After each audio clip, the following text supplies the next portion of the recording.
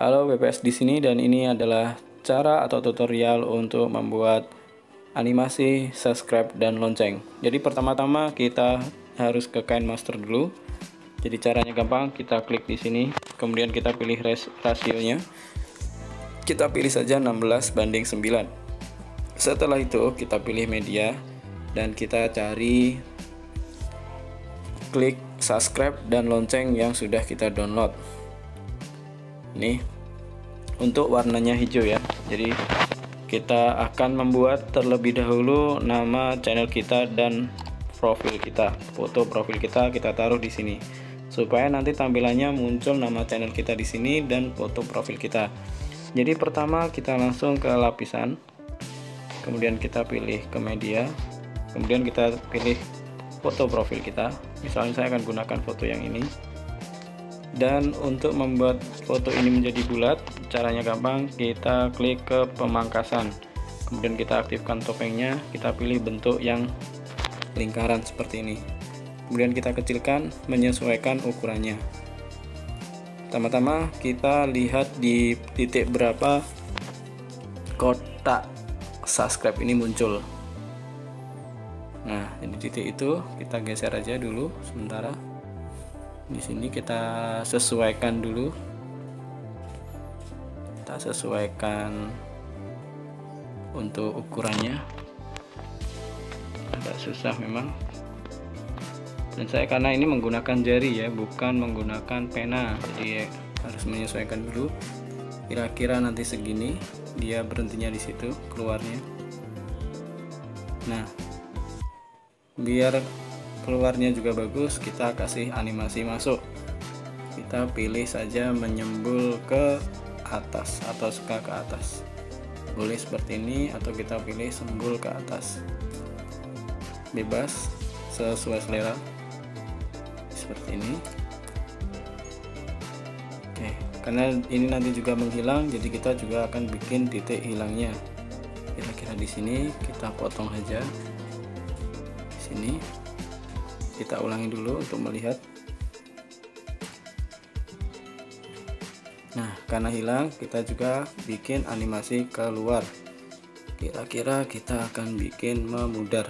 Jadi nanti dia juga akan ikut hilang. Kira-kira seperti ini.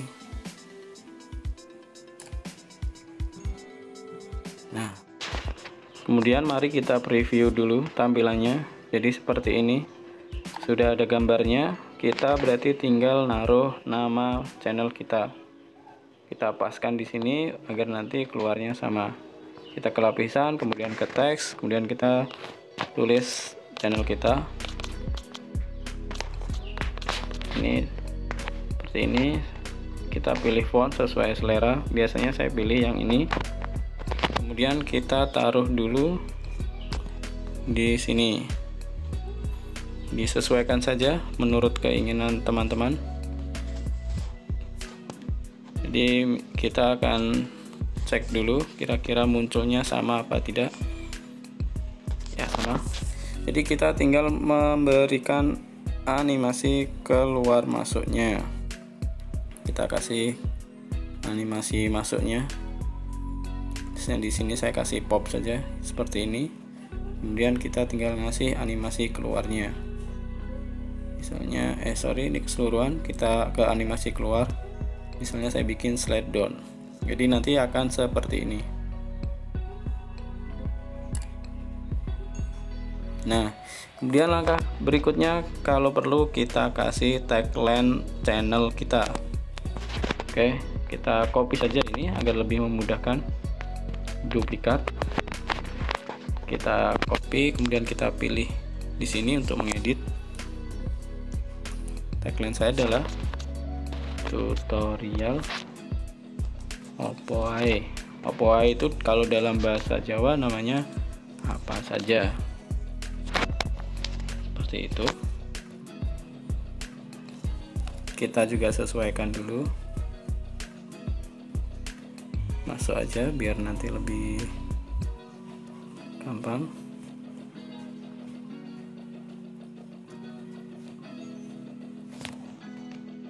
geser sedikit. Oke kita klik sudah pas. Kita mungkin beri warna supaya beda ya atau lebih kelihatan. Bayangan sorry bukan bayangannya. Kita pilih warnanya di sini merah. Oke. Misalnya seperti ini saya tinggal memberikan animasinya maksudnya misalnya saya kasih huruf demi huruf. Ini kita juga bisa sesuaikan. Kemudian kita pilih animasi keluarnya. Kita pilih saja simpangkan atau hilang.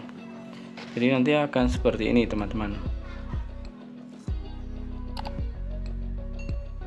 Nah jadi demikian caranya.